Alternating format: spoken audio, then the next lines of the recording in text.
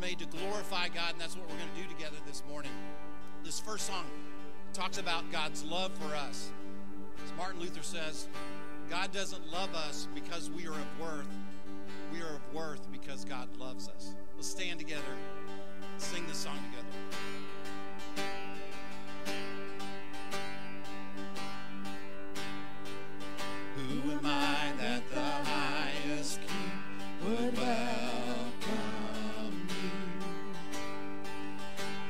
Lost, but he brought me to know his love for me.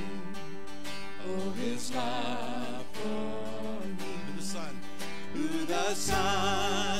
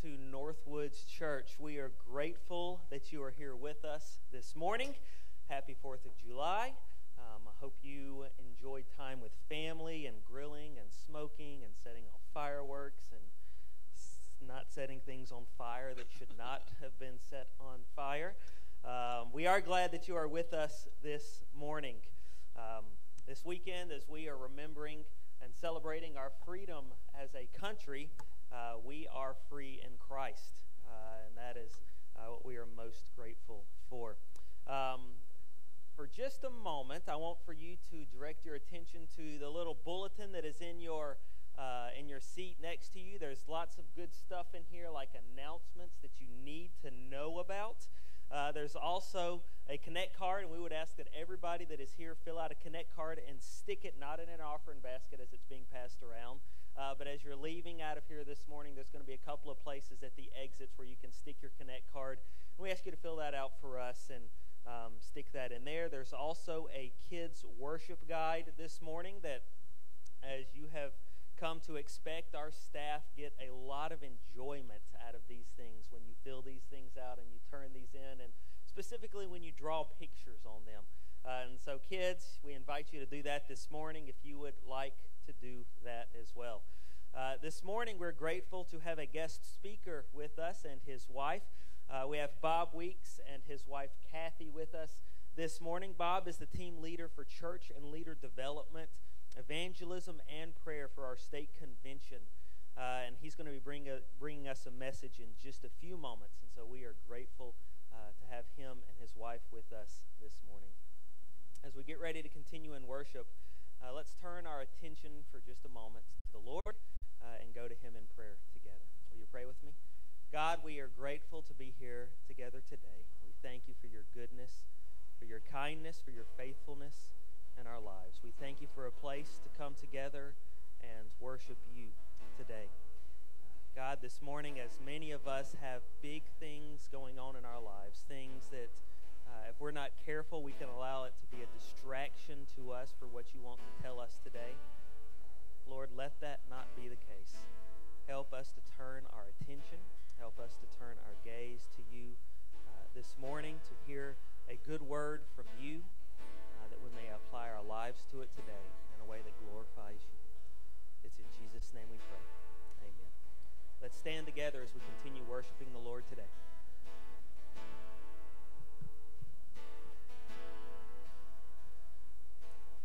God is our refuge and strength, and a very present helps in trouble.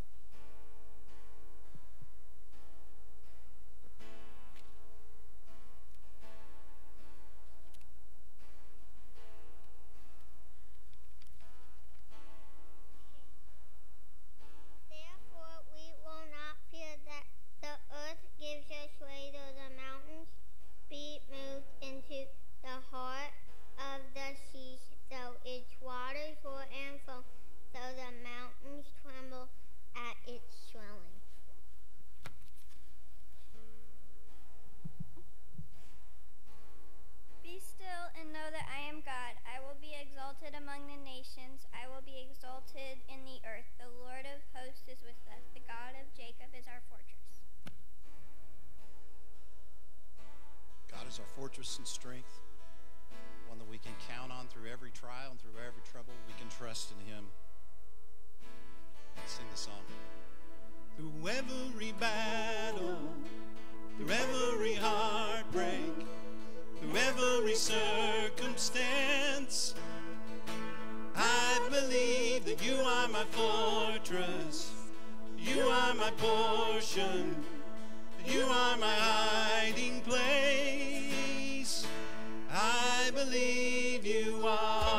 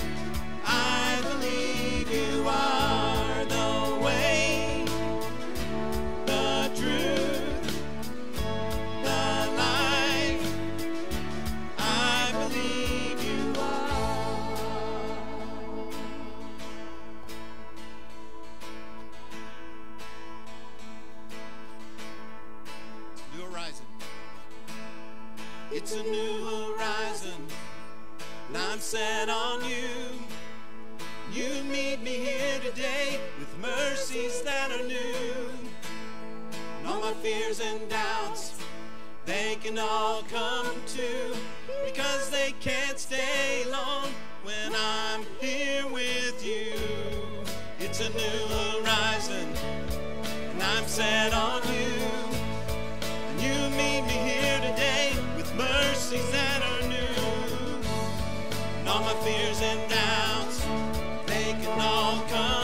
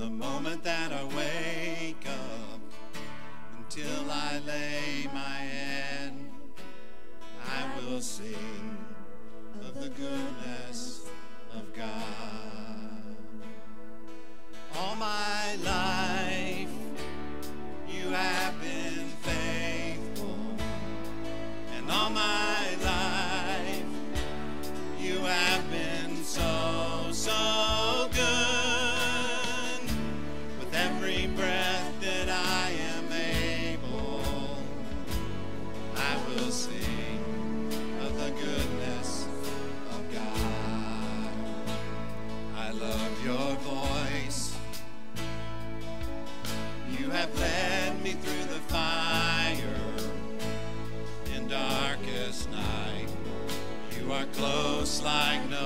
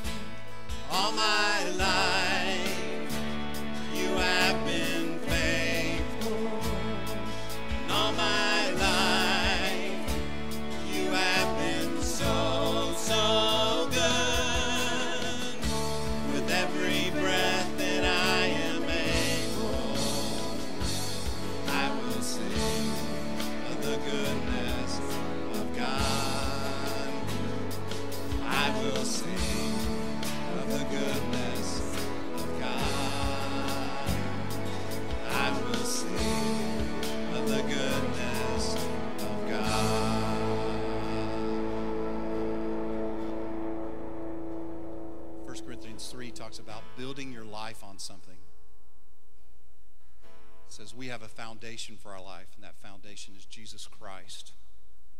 You got to build your life on something that will last. We want to build our life on a relationship with Jesus. This song that we're going to sing to close things up is just kind of a declaration at the end that says, Lord, you are my foundation. I'm building my life on you, and nothing will shake me. Nothing will shake me. I'm trusting in you. I'm relying on you. We need to hear that. We're going to sing that song together. He is worthy. Build our lives on him.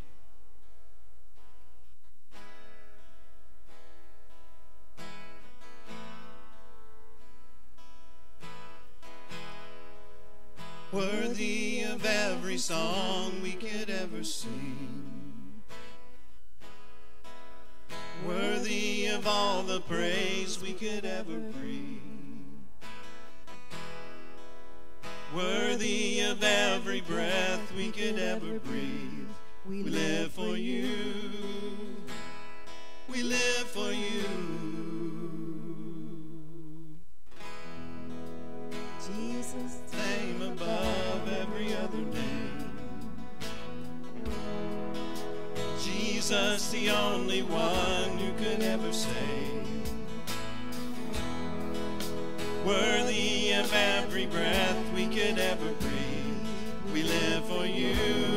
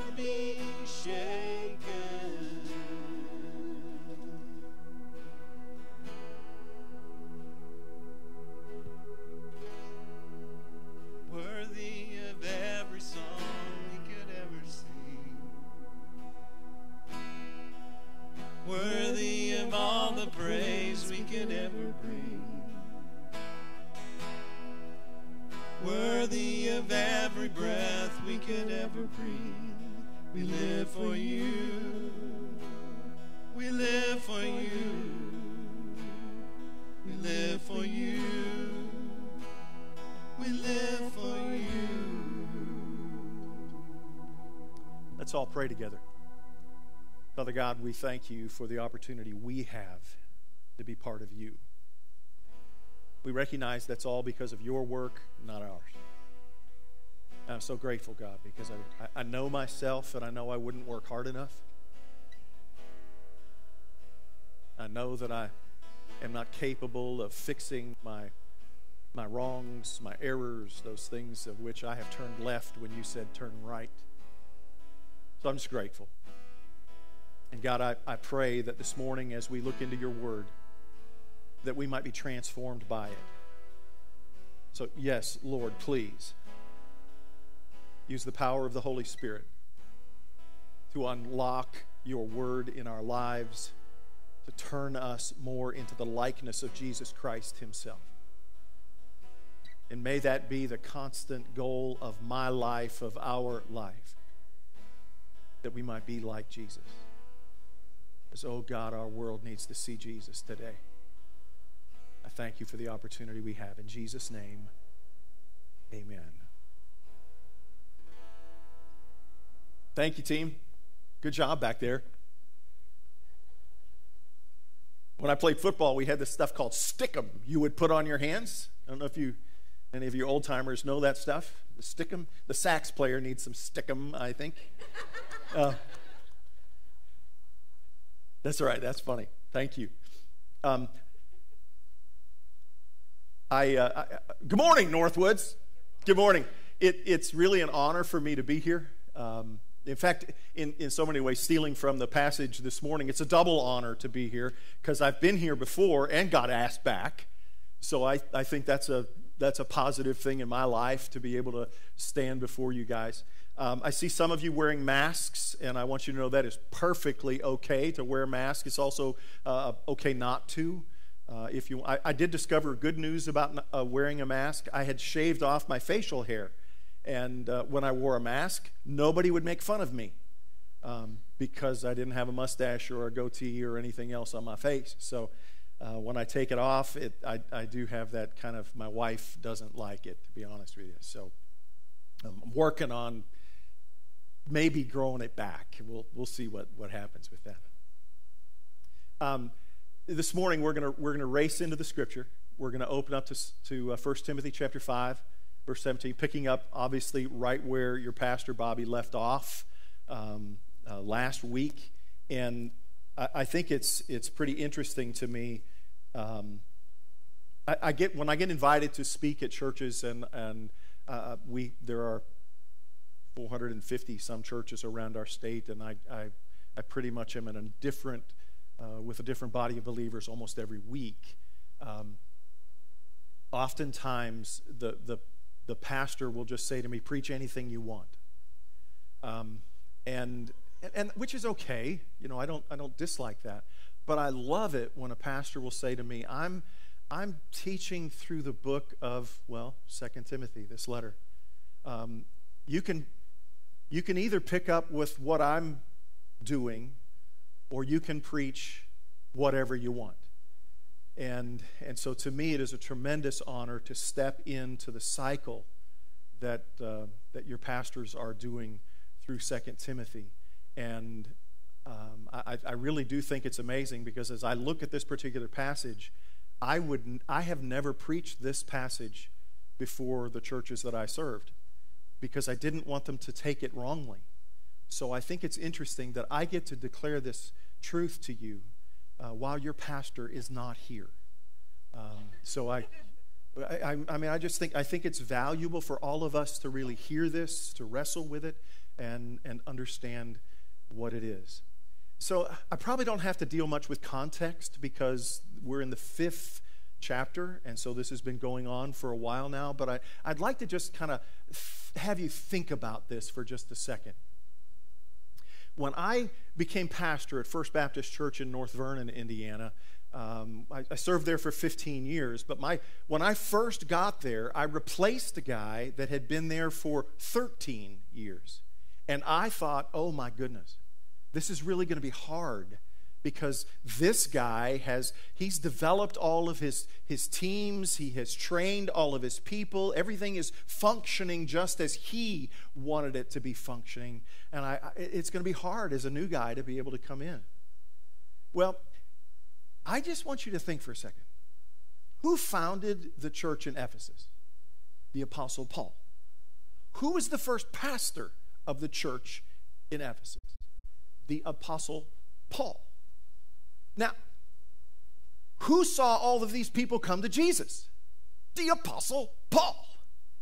I mean, when you start to think about it, Paul has trained them, Paul has reared them. They are all, in so many ways, Paul's children in the faith. Paul leaves, and if you go into Acts chapter 20, you can see that separation that Paul has as he is saying goodbye to the elders of that church. And he, he says before them, he said, I, I, I am not guilty of any man's blood because I have been faithful to proclaim to you the fullness of the gospel from house to house and everywhere that I went. And, and he weeps weeps as he says goodbye, and they weep as they say goodbye, and they're so sorry to see Paul come, and then in walks Timothy. Timothy is young, inexperienced. He is everything that Paul was not. And so, can, can you, can you kind of hear it? Paul didn't do it that way. Why, we, we've never done it that way here before, Timothy. That's not the way it's done. Um, those are the kinds of things that you hear. I know. I heard them in the beginning of my, my time at First Baptist North Vernon. It's just not done that way. As Paul is writing this letter to Timothy, we recognize there have been issues going on in the church. And they're issues that Paul honestly hasn't prepared Timothy to face, or he wouldn't have written it down in a letter and sent it to him. And so this is some catch up stuff going on. This is that kind of stuff like, oh, by the way, Timothy, I probably should have told you whatever this is going to be.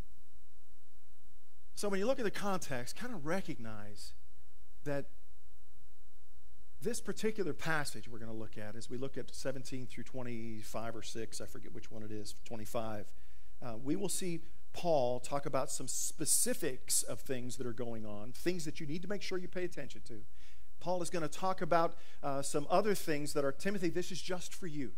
Here, they're very personal because Paul loved Timothy. And, and so we have to be discerning to be able to, to see those differences. Let, let's look at this together for a moment. And let's look starting at the 17th verse. We're going to, um, what, I, I'm not sure how uh, pastors are doing it here. What I'm going to do is just read a couple of verses, and we're going to talk about it a little bit, and then we'll go back through and look at it. You have uh, the PowerPoint notes in the back of your program, bulletin, whatever you call that, and, and I'm also aware that, that the screen behind me will turn into uh, some PowerPoint things to be able to help us uh, to keep up to.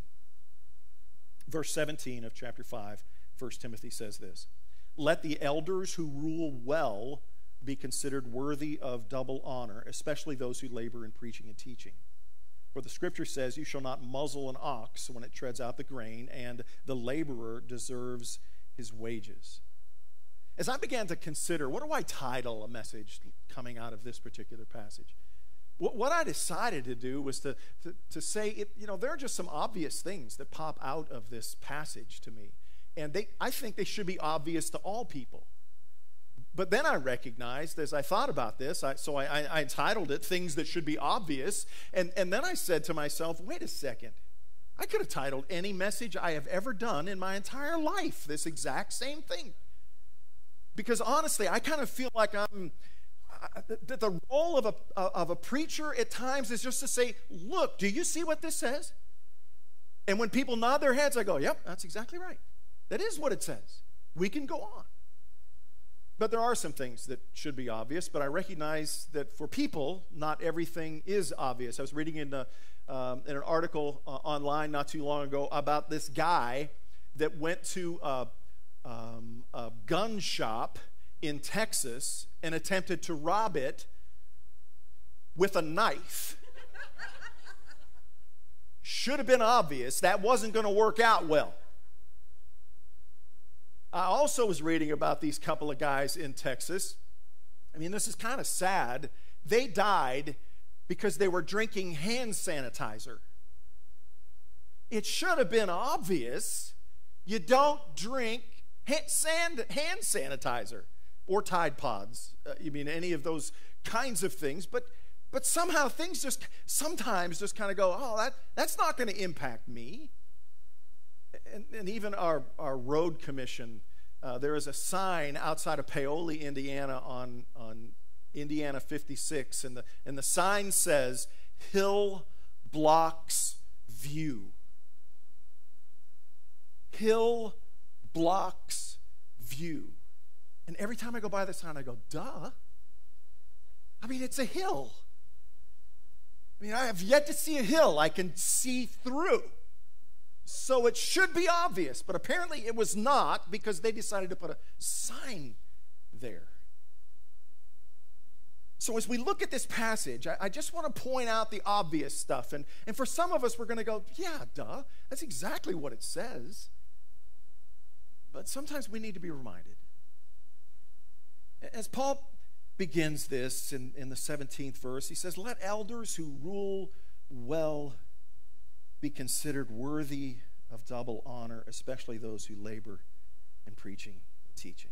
So, what do you think is going on in the church that, that Paul is telling Timothy that, that, that elders should be, should be recompensed correctly for the work that they're doing? I, I'm thinking that the church has grown some that the church is now taking and moving on to, to, to, having more guys on staff. And those guys that are on staff are now needing to be having so much of their time being spent that they're now going to be full time.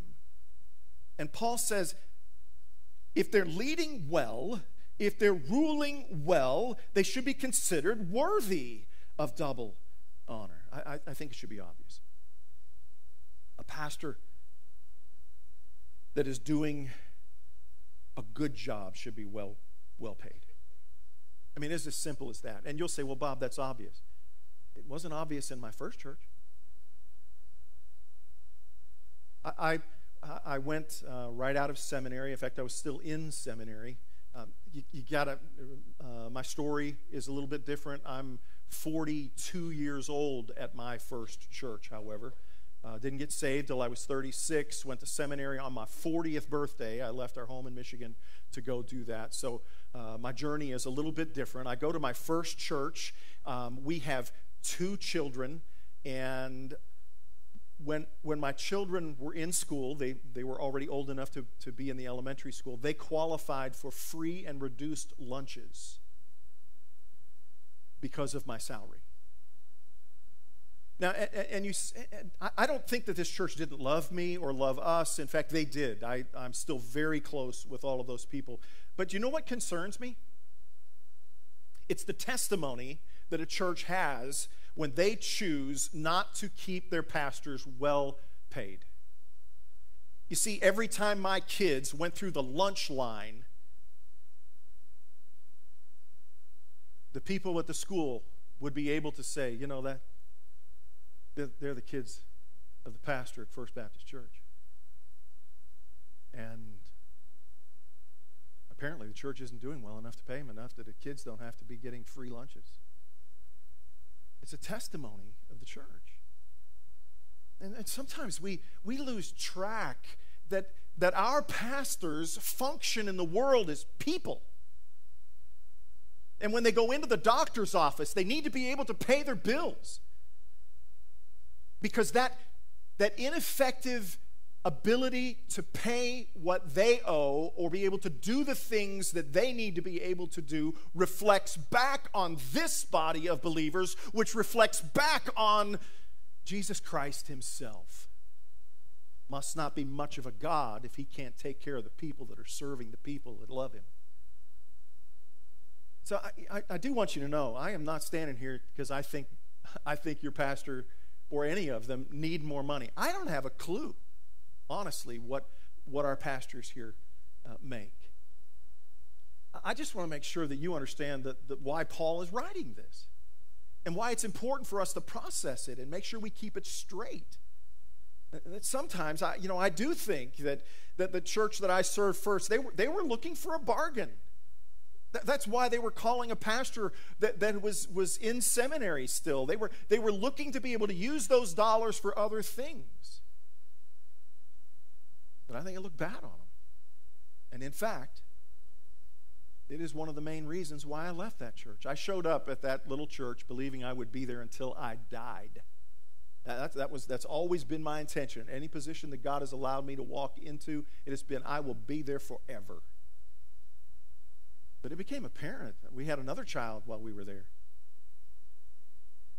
As I began to look forward to my kids going to college, being teenagers, and oh my goodness, teenagers are expensive.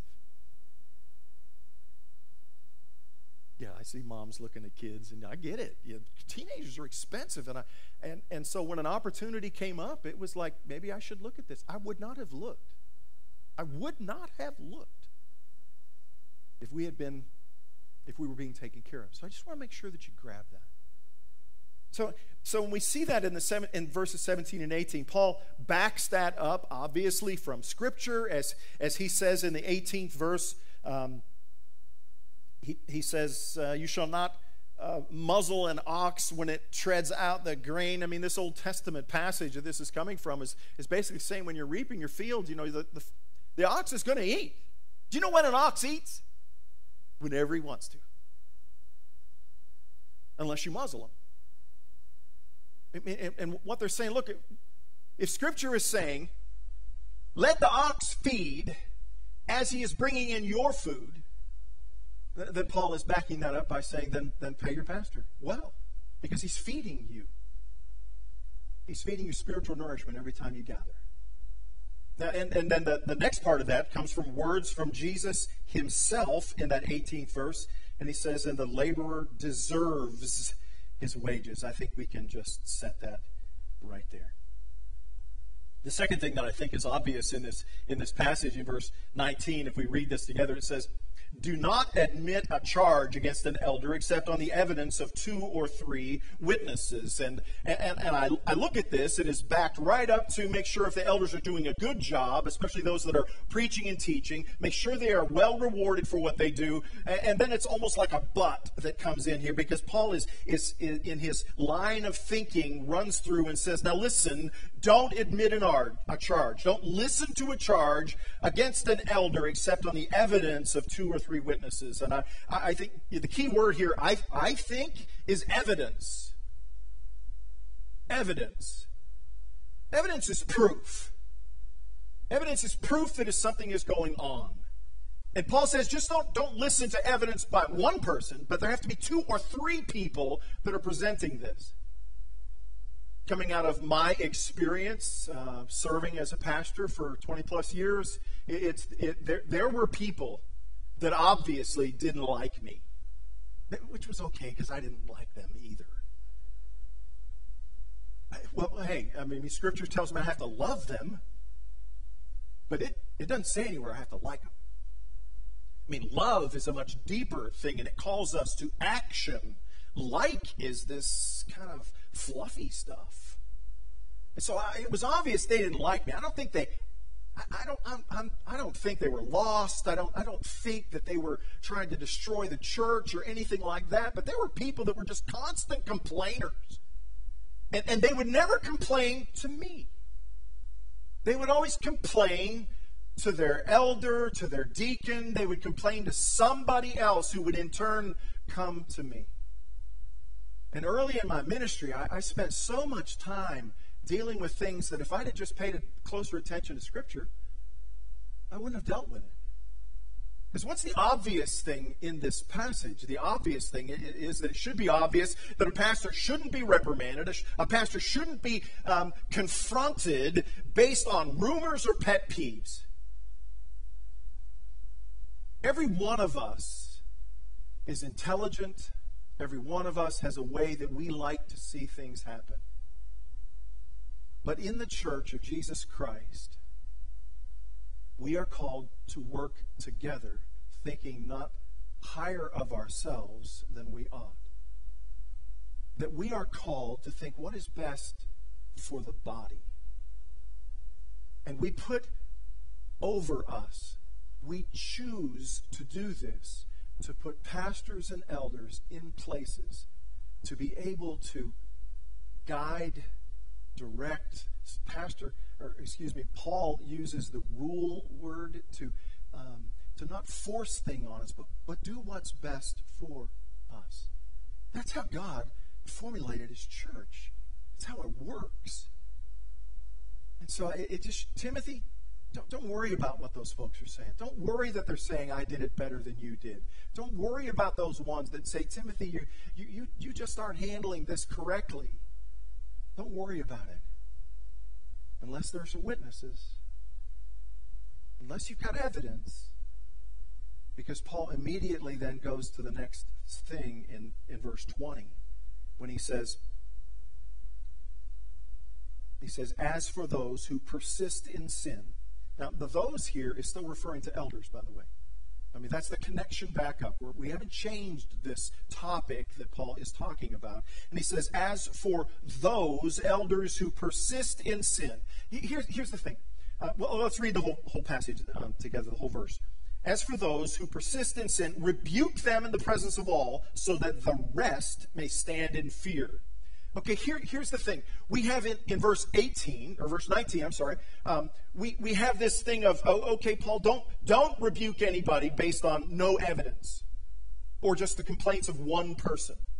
Don't, don't, don't do it. However, there will be some times that an elder is absolutely wrong that there is evidence, there are multiplicity of witnesses, and he must be rebuked. Now, now, now what, what, he, what he says is that if that has happened, then, then other things have already occurred, and we call it discipline. Do you know what discipline is, right? And it's not beating your children. So just don't, don't say that. Discipline is a process to restore someone to right behavior. It's a process that has a positive outcome, not a negative outcome. It comes from the root word for disciple. And so we, we have this process that has been established, and this elder that we'll, we'll, say has done something wrong has gone through the process, but he he continues according to verse 20 he as for those who persist in sin he refuses to walk in the walk of discipleship to move toward improvement he continues to sin. Now, maybe it's because uh, he just feels like I don't, I'm, I'm better than everybody else. I'm, I'm the pastor. I can do what I want. I mean, I, I don't know how many you're aware of, but because I deal with so many churches around our state, there's always a pastor that is doing something where this passage needs to be needs to be acted upon. Sometimes it's, it, it involves money. Sometimes it involves improper relationships with, with people that are not their spouses. Um, there, there, there are things that happen of which we have to know how to act. And so, what, what does Paul say to Timothy? He says, Tim, what you need to do is for those, those who persist in sin, rebuke them in the presence of all. In other words, it, it, it should be obvious that the pastor who refuses to accept discipline should be rebuked in the church by the church. Now, please hear me. This is a very public thing that Paul is talking about here. This isn't where somebody stands up and accuses a pastor at the end of a service. I have heard of that happening. But it's just here, you did it. No, no. This is the process has been walked through completely, and this is like the last step of the process. Paul says there's two reasons for this, right? It's obviously to rebuke the guy that has done wrongly, but the rest of it is to make, eh, make sure every single one of us recognize that if the church is willing to do that, to rebuke a pastor in front of us, then they will be willing to rebuke us also. Church discipline has a bad kind of feel to it. But, but I, I, do you know families where there's no discipline in that family? How do you like having those children come over to your house? Right? It's horrible. I mean, we're the family of God. And sometimes we act like we're not called to discipline each other. And, and please remember, discipline, the, the, uh, object of discipline is to improve behavior. It, it is a positive outcome thing, not a negative outcome thing. But, but we've kind of grown in that place where, you know, we, we, we're, we're thinking, you know, grandma's going to get the switch or the yardstick and dad's getting his belt or, you know, those kinds of. This is not like that. This is simply, brother, you're wrong in the way you're acting. And we need to work on that together. And so, so this idea is, is that, that Paul says that, it, that if others will witness this when they see, in verse 21, excuse verse 20, that, that when they see this rebuking happen, um, then the rest of us will stand in awe. Fear is a word that's used here. Stand in awe that we're held accountable for how we live our lives. And guess what? You only think you're not held accountable for how you live your life. But you, you are held perfectly accountable. Every word you've ever spoken, every action you've ever done, anything that you have ever uh, performed in your life, you will be held accountable in the end days for that very thing. You won't, you won't skip accountability. And your brothers and sisters in the church are blessing you by helping you be held accountable now not later. So as, as Paul goes through that, verse 21 is a very interesting kind of uh, switch uh, in the way Paul is addressing uh, his son in the faith, Timothy. Um, because Paul now switches to this, this holy charge to him, this, this um, laying out of Timothy. Well, let's just read it together. Verse 21, uh, it says, in the presence of God and of Christ Jesus and of the elect angels. I mean, just think about that for a second. As Paul begins to speak this, uh, Pastor Darren said earlier uh, to Ryan, he said, you, use your big preacher voice. Uh, when you say something. And so, the big preacher voice of this might sound like, I charge you. In the presence of God and of Christ Jesus and of the elect angels I mean, this is, this is a very holy charge. But what does he charge him to do? He says, I charge you to keep these rules without prejudging, doing nothing from partiality. What rules is he talking about? I believe he is talking about Scripture itself. It's not just these, these couple of sentences that he has used here. Why do you think Timothy needs to be reminded? Timothy, do the stuff you read. I think it's because I need to be reminded of that. Because we're human. Do you need to be reminded of it? You see, some of us are really good at certain things, and some of us fail at others all the time. And, and we need to be reminded do Scripture. Do it. It's living Christianity, not attending a service.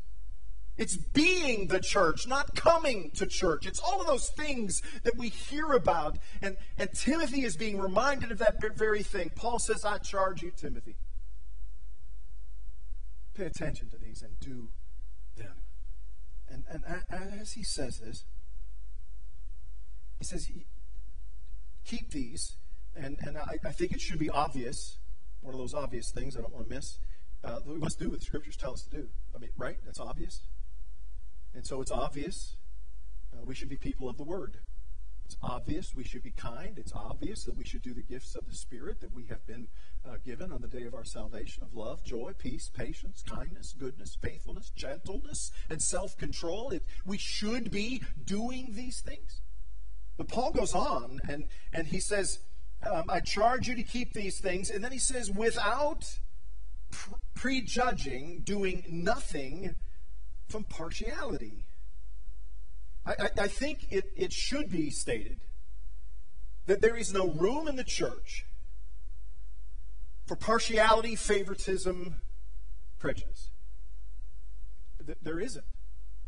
I, I, when I was a, a new believer um, and uh, a new pastor, so I, I'd been a, I, I started becoming a pastor, so I was five years, six years into Christianity. I'm still a new guy. Um, and when I began to help formulate the teams that I would have a chance to work with, I put people on it that were like me. They were my friends, my favorites, the guys that I thought would would be well, that they'd be on my team. After I went on in ministry for a bit, I began to recognize all I was getting was people who were telling me I was okay, that everything was fine. They were giving me and taking, here's my, I'd throw my ideas out there, and they'd say, that's a great idea, Pastor, and, and they go on with it. And I, I really got to the point that I'm like, I, I don't, I don't want my idea, I want your idea. And so I began to put people on our teams that were the opposite of me. I began to put people on, on the teams that, that were not my favorites. I wish I was a better student of the word because I could have learned this a whole lot earlier, Darren. But I didn't. But Paul tells a young Timothy don't do anything, anything, with prejudging and partiality it should be obvious the spirit of favoritism and prejudice has no place in the Church of Jesus Christ. I think it's interesting that, that this passage comes up in the climate of our country today. I, I grew up in a small town in, uh, in western Pennsylvania. I'm, I'm kind of old, and I remember one of the first kind of outings that I had with my grandmother was a trip down to downtown Sharon, Pennsylvania. We were going to the movie, and we, we took a cab from her home. And we went to downtown Sharon and first went into a place called the Sharon Store. I'd never been in it before. The Sharon Store was a five story, like, department store kind of a thing. This would have been in the, uh, golly, very, very early 60s. Where the elevator was, I saw a water fountain. I ran to the water fountain to get a drink. My grandmother almost ripped my arm out of the socket, stopping me from going to the water fountain. And her words to me were not that one. Do you know what she was talking about? A sign over that water fountain said, colored only. Why in the world were there two water fountains? It's because this scripture was not being followed in the little community that I grew up in. It's as simple as that. You know, friends, I, I when I, I look at my sheltered life as I grew up, and I, I kind of recognize I have to begin to think differently we, we can't continue on like this. It can't be. And so I, I, I look at this passage and I just leave it as it, as it says to us. But, but there is no room in the church of Jesus Christ for prejudice, favoritism, for, for, for doing things like it. Just can't have it. And that begins with us as a church. It begins with your church leaders. It begins with me as a denominational kind of guy. It begins with each one of us in our families. Teach it. Teach it from Scripture. And don't be afraid to say, I, I wasn't raised that way. I didn't know. My, my grandfather was horribly prejudiced. I didn't, I didn't know it at the time. But looking back on it, I think, Grandpa, why? And the excuse, just because I was raised that way, I don't buy it. And neither should you. We're the church of Jesus Christ, bought with a price. And it's not just for us. Just as there will not be some hill upon which we will put the Baptist flag and the Methodists will be on another, and, and others and others and others, there will be no separation by colors or culture happens in heaven should be reflected here. Isn't that right? So, it, as Timothy uh, continues to take this information, um, Paul switches this, which I think is interesting because um, I, I wonder if verse 22 happened, and Paul is saying this because the guy, the elder that is being reprimanded that Paul is talking about, well, verse 22 says, Do not be hasty in the laying on of hands. The, the, the laying on of hands is significant because it talks about uh, what we do as a church that gives official recognition of call of God on someone. And so uh, when I became pastor, there was a laying on of hands by that body of believers. It said, We acknowledge that, that we believe God has called you here, and we acknowledge that and call you here also.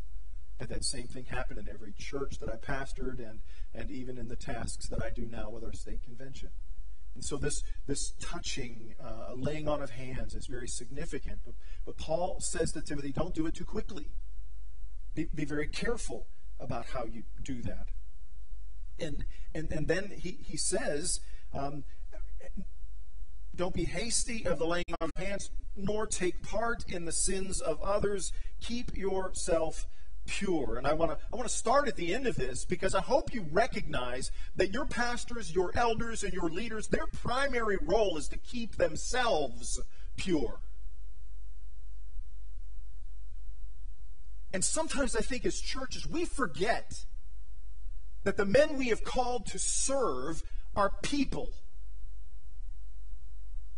They need time in order to reflect. They need time in order to restore. They need opportunity to be able to keep themselves pure. See, as, as church folk, what time what we tend to think at times is that they exist to keep us pure. And so we want them to be able to pour out excellent messages. We want you to spend significant time in the Word to be able to tell us what we need to know. But when was the last time you went to your pastor and said, Pastor, how you're doing in your own in your own search for holiness and purity. Are you having enough time and resources to be able to do those things, Pastor? Because that's his primary role, for he cannot lead you anywhere that he is not willing to be. So, so the first thing I think we should recognize, it's obvious that church leaders um, need to be able to uh, keep themselves pure. The, the second part of that is I think it's obvious that the church leaders need to show their faith for a period of time before we put them in place. Just very simple. Um, I don't know what that period of time is. I think every church needs to determine what that is, but you don't want to bring someone that is brand new to the faith and all of a sudden make them an elder. That's, that's ridiculous. It doesn't make sense in, uh, in a business setting. It makes no sense in a church setting, and, and Scripture tells us that. And, and, but then there, there, there's another piece in this, is it should be obvious that when church leaders appoint someone too hastily, that they share the responsibility for the ill results. I think that's what Paul is telling, telling Timothy. Don't be hasty in laying on hands, Timothy. Because if you do, you will take part in the sins of others. You'll be responsible for the things that they did wrong. And, and so be, take, take care with that, Timothy. In, in the 23rd verse, as we see, we see an absolute switch. T- Paul is now going to switch from these, these large church matters to Timothy, you're my son in the faith. Let's just talk for a second. And, and he says to Timothy in the 24th, 23rd verse, No longer drink only water, but use a little wine for the sake of your stomach and your frequent ailments the ESV uses parentheses around this that are obviously uh, are not in the original language, but the intent is is for people that are reading this to be able to recognize that, that this is an aside. This is a comment just to Timothy. And I want to say to you that that needs to be obvious to us that this is that is meant personally for Timothy, but I also want to say that, that it is obvious that it doesn't say alcohol should be part of the Christian life. Now, now look, I, am going to jump in and, and, say this, and I'm. Uh, it is not sinful to drink, but it is absolute sin to get drunk. The problem with us as human beings is we don't know where the line is drawn. I'm speaking to you as one who is alcoholic and know that you can start, but you can't stop. And here's the deal if I could just say this you have the freedom to drink as a, as a follower of the Lord Jesus Christ. You do. I do. I choose not to because I will not allow my freedoms to draw someone into a trap that they cannot get out of. So here's the deal, Christian. If you're going to drink, do it alone. Don't encourage someone else. And don't post it on Facebook, for, for goodness sake. Where everybody that you know, all the people that you work with, those very people that you're trying to witness to, they don't think you're special and cool because you put your picture up there next to a bottle of wine.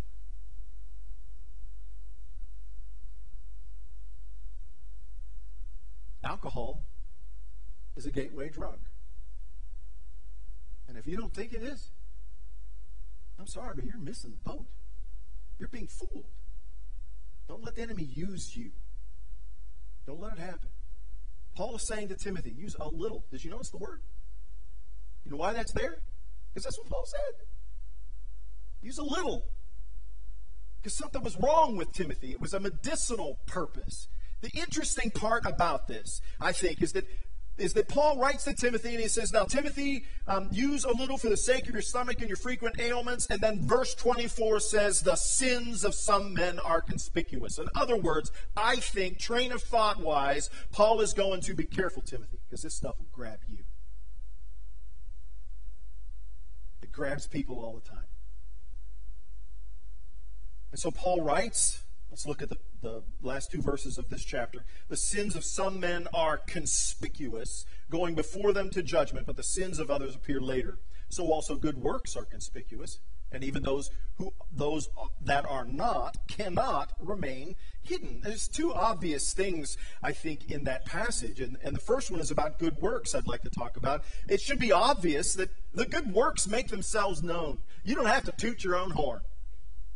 Do you ever notice people, and I, I see it in the in the in the news on online and on Facebook especially, where where someone will say, you know, uh, uh, I, you know, I just I just fed a stranger. You don't have to tell people that. Good works can't be hidden; they're conspicuous. They come out. My my grandfather said to me, "Don't toot your own horns. Don't toot your own horn. Let somebody else toot it for you." And I, that's not very scriptural, the way it sounds. But the idea is, is that if you're going to do something good, you don't need to proclaim it. Just do it. We're all called to, to do good works. Brother Pastor used the passage this morning when he opened up. That's why we were created. So I, I, think it should be obvious that good works make themselves known. They, they just do.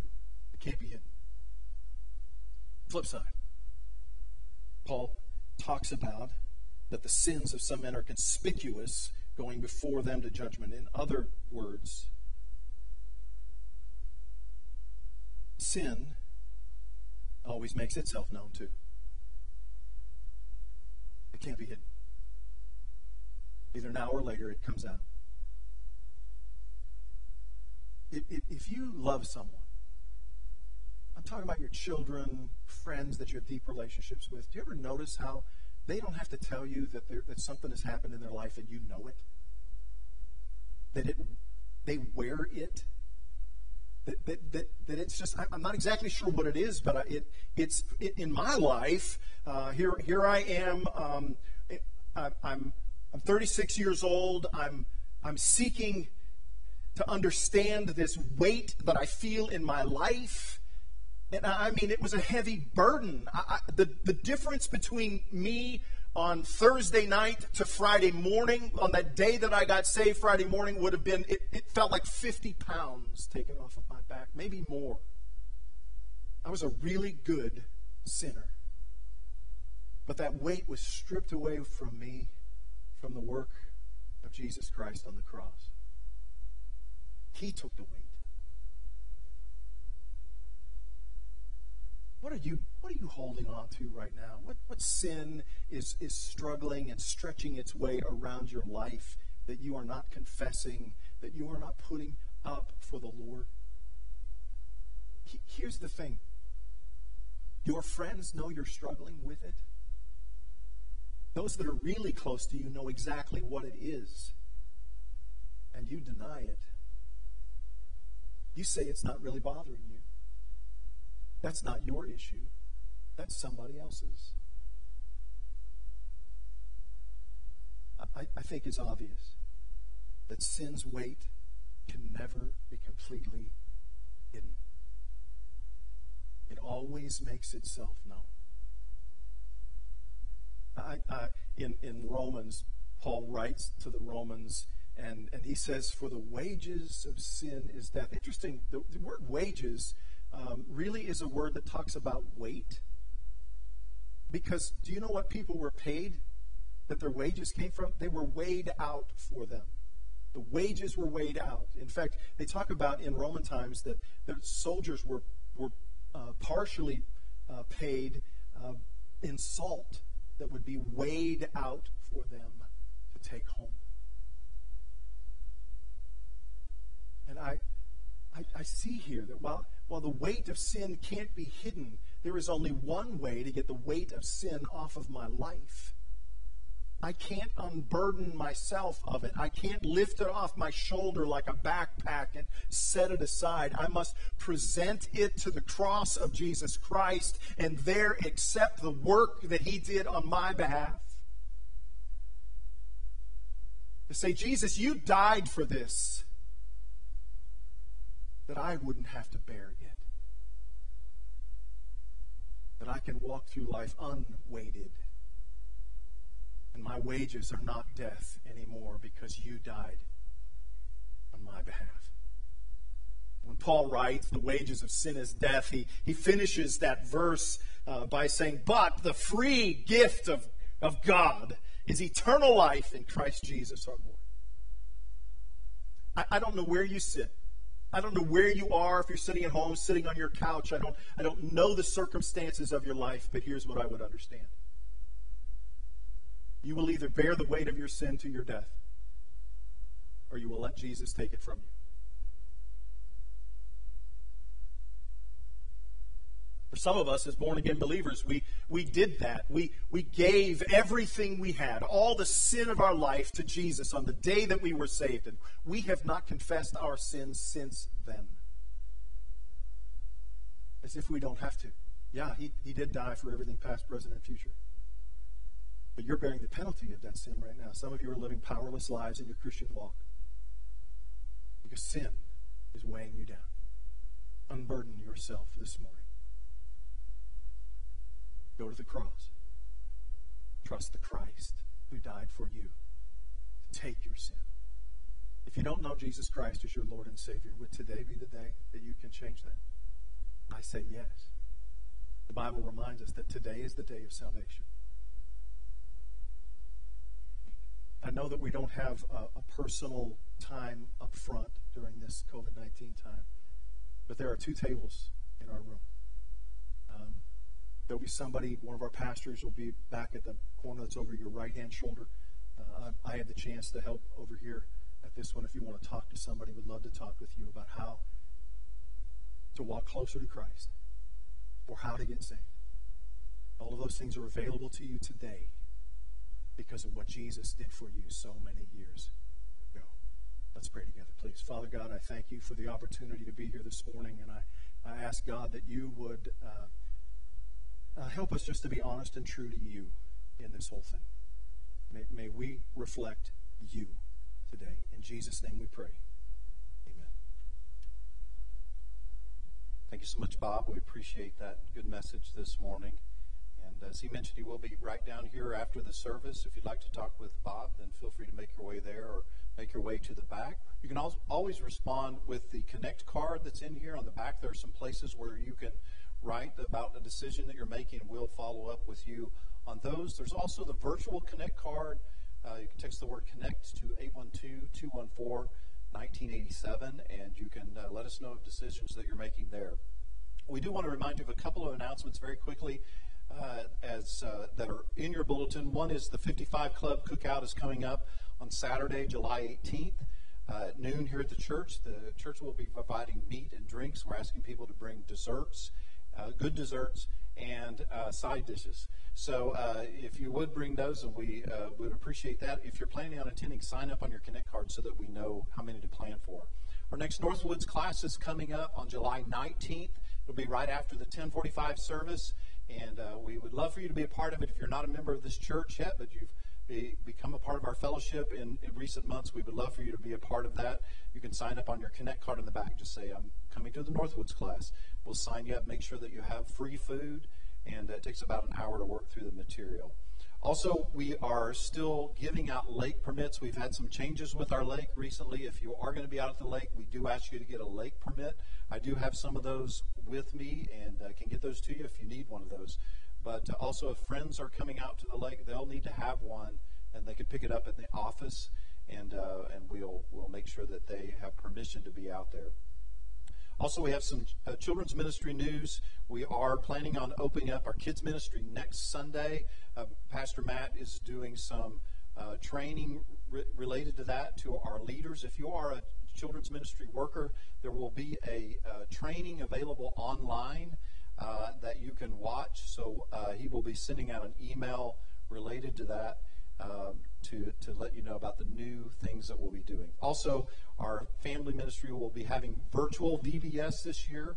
Uh, that will be coming up uh, July 27th through the 31st, and they have some materials that they'll ask you to pick up, and then you'll you'll uh, log in. I, I, don't really know. Uh, I'm assuming it, will be virtual, and and you'll sign up at Northwoods Church. Uh, slash events. There's a place there where you can sign up, and they'll get you all the information that you need. Uh, we are going to be baptizing this morning, and so uh, Pastor Matt is going to be over into that. We'll also be baptizing in the second service as well.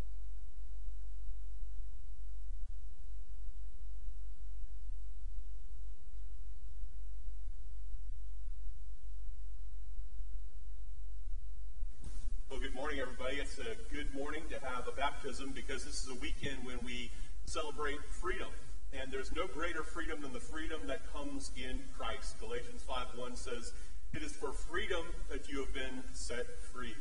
And so we face a, a greater freedom through Christ than we could ever find here on earth. We have freedom from sin, freedom from death, and victory over all these things. And so as we do baptism this morning, we're celebrating chains being broken uh, of enslavement to sin and coming up out of the water. It demonstrates that we are free and renewed in Christ. And so I'm going to ask Caroline to come in the pool with me. This is Caroline Burns. Caroline contacted me this week. She keeps she said Caroline, and my southern roots keep saying Carolyn. So excuse me for that. But come on out. This is Caroline Burns. And uh, Caroline put her faith and trust in eighth grade a long time ago. And she's in the situation that a lot of adults are in that uh, you get your uh, baptism before your salvation and the correct order to do that is to get saved and then get baptized. And so Caroline called me and she said, It's time. And it is a good time today to get baptized. So if you cross your arms, all right, and hold your nose. Caroline, based on your profession of faith in Jesus Christ as Savior and Lord, I now baptize you as my sister in Christ. In the name of the Father, and of the Son, and of the Holy Spirit. You're buried with him in death and you're risen to walk in newness of life.